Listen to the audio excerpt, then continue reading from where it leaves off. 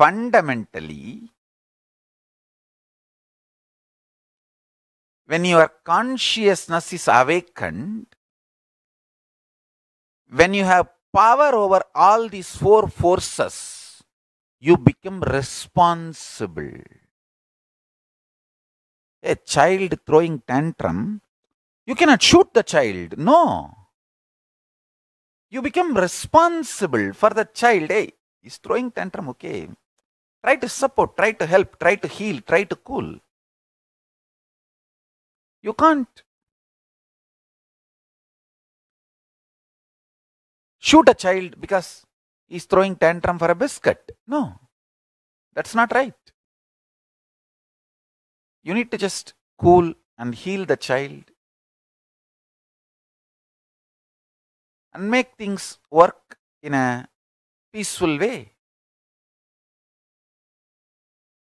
Understand?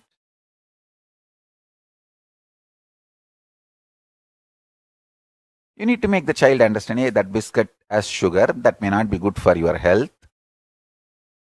Why don't you have something else? Have jaggery, have natural, that Indian jaggery, which has no health hazards, which is healthy, and have organic food and try to educate.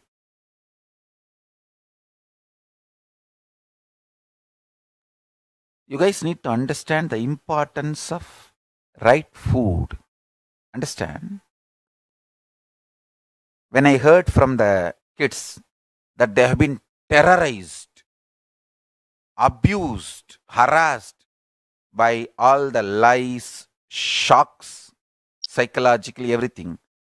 I said, don't worry, because all that does not take away the powers of kids. Actually, Kalabhairava will punish all those people who terrorized my kids.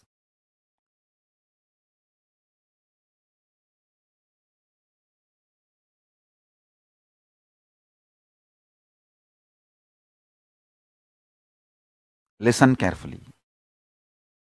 But if the kids are made to eat non organic food, force fed, sugar, non organic, non vegetarian food, the kids will lose power. Because the body is too important for consciousness to function in its full awakened state. Understand? A dull, sleeping consciousness does not need a yogic body. But an awakened consciousness needs yogic body to function fully.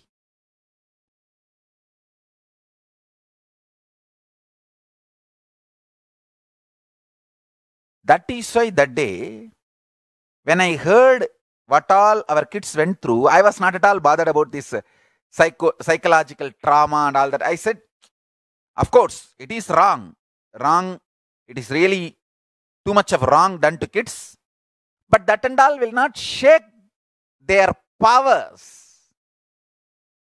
Actually, the people who terrorized my kids, Kalabhairava will deal them, will deal with them.